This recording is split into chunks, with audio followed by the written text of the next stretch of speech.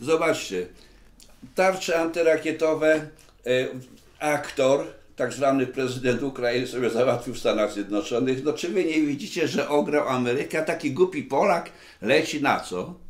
No przecież nie mogę powiedzieć dobrego słowa ani o Dudzie, ani o Morawieckim, ani o Kaczyńskim, o nikim. Zobaczcie, aktorzyna zagrał sobie we filmie i co zrobił? Wykiwał Polaków. Tamci mają tarcze antyrakietowe, Ameryka stawia. Aj, Polacy, Polacy, zastanówcie się, bo bardzo blado wyglądacie, bardzo kiepściutko.